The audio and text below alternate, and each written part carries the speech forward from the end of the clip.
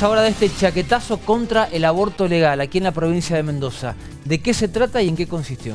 Profesionales médicos que eh, lo que hicieron es manifestar públicamente su oposición al aborto legal. Unos 3.000, no 300, es la cifra concreta, estaba eh, diciéndolo incorrectamente, unos 300 médicos mendocinos se reunieron en la explanada de Casa de Gobierno para pronunciarse contra el proyecto de aborto legal, seguro y gratuito. La consigna, no cuenten con nosotros, estudiamos para la vida. Muy bien, lo que pasó este fin de semana aquí en la provincia de Mendoza, 300 profesionales médicos reunidos allí en la explanada de Casa de Gobierno.